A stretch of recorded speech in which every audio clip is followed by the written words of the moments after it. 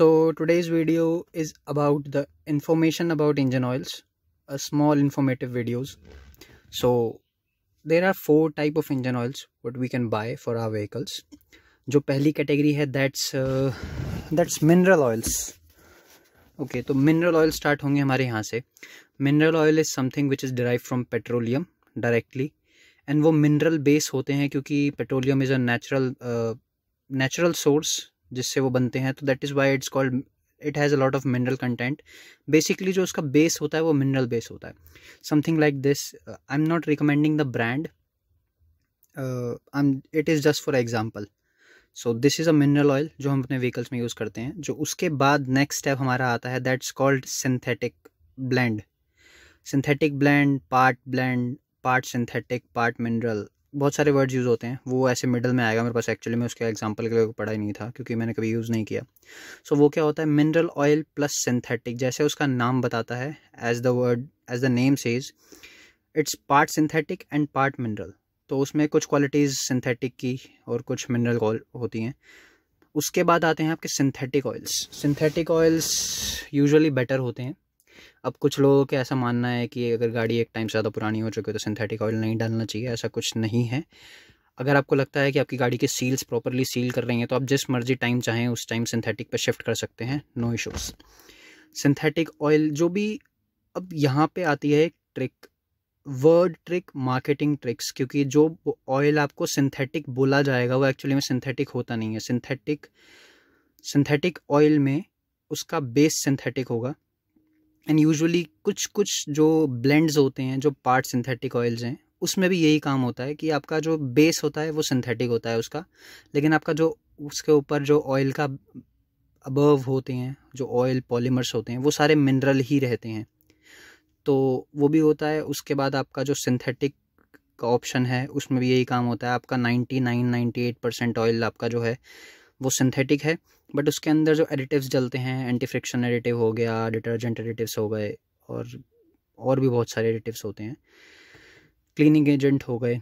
तो ये आपके सिंथेटिक नहीं होते। तो इसलिए उसे सिंथेटिक रेफ़र ज़रूर किया जाता है, लेकिन वो सिंथेटिक होते नहीं हैं। तो ये जो टर्म है, बहुत कंफ्यूजिंग होती है कस्टमर से पैसे निकालने के लिए। Mineral part synthetic synthetic and उसके बाद आते हैं आपके असली ऑयल्स जो सिंथेटिक होते हैं उन पे हमेशा रेफ़र होगा फुली सिंथेटिक्स जैसे हम देख सकते हैं फुल सिंथेटिक फुली सिंथेटिक्स ये वर्ड रेफ़र होते हैं और ये ऑयल यूजुअली कॉस्टली होते हैं क्योंकि इसमें जो आपका ऑयल बेस होता है वो सिंथेटिक होता है प्लस जो डिटर्जेंट्स और एडिटिव्स डलते हैं उनका बेस भी सिंथेटिक होता है. सो so, इस चीज़ का ध्यान रखना होता है हम जब ये ऑयल ख़रीदेंगे ऑब्वियसली हम अपने बजट के हिसाब से ख़रीदते हैं आपको जो अच्छा लगे आप वो डालें और उससे भी ऊपर जो आपकी मैन्युफैक्चर की रिकमेंडेशन है, जो अलावेंसेस हैं और जो अप्रूव्ड ऑयल्स हैं, वो यूज़ करें। जैसे टाटा रेफ़र करता है G T D on its manual तो this oil can work perfectly in the vehicle two point two DICOR में। लेकिन अब जैसे मैं यूज़ करता हूँ तो मुझे इसमें और एज में फ़र्क तक लगता है बहुत ज़्यादा। तो दिस इज़ द रीज़न मैं एज ही यूज़ करता हूँ सिंथेटिक ही यूज़ करता हूँ। मतलब ऐसा नहीं है कि मैं कैस्ट्रॉल रेफ़र कर रहा हूँ।